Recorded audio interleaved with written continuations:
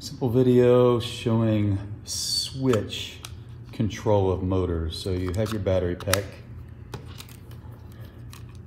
Power? Power doesn't matter. Polarity with red, white, and yellow does not matter on this. The power is typically just the black and red, uh, the white cable. And RoboThink World is, we call it the signal cable. Uh, so if you're transmitting signal or any kind of data, you know, that matters, but for this.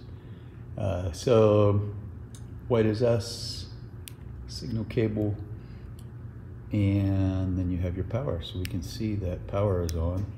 But if we want to control a motor, we can control two motors at one time.